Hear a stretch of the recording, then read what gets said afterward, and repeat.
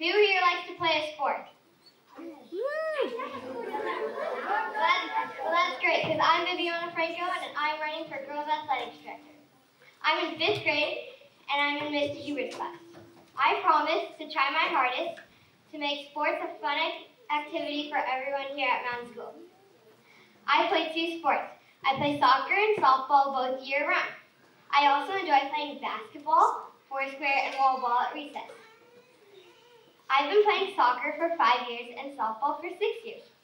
I'm running for Girls Athletics Director because I feel that sports should be a fun activity for anyone who would like to play. If elected, I would love to organize tur- tournaments with sports such as kickball, soccer, basketball, and and soccer. If elected, I would love to organize tournaments with sports